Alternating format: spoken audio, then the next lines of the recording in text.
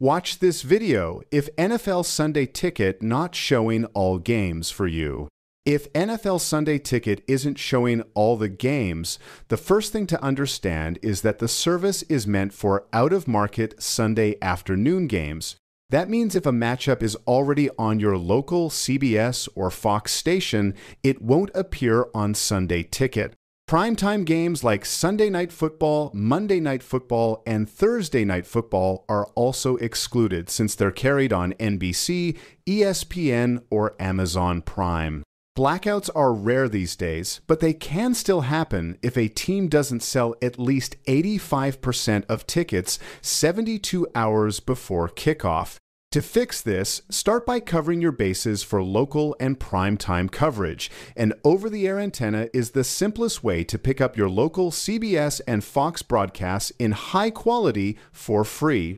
If you travel or want to get around regional restrictions, using a VPN and setting your server to another location can sometimes make blocked games viewable. Another reliable option is adding a streaming service like YouTube Television, which carries the local channels that Sunday Ticket doesn't include. If your subscription still doesn't seem right, double check that you've purchased the correct package and add ons. Make sure the app or device you're using is fully updated and confirm your location settings so the system correctly identifies your market.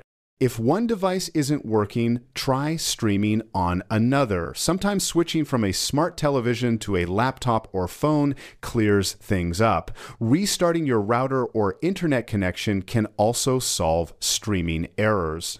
And if none of that works, the last step is contacting YouTube, television, or NFL support directly, since sometimes the issue is on their end.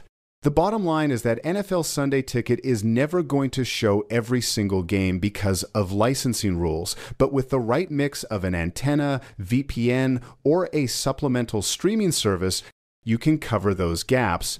Keeping your apps and account in order will prevent most technical issues, and if all else fails, support can confirm if it's a bug or an outage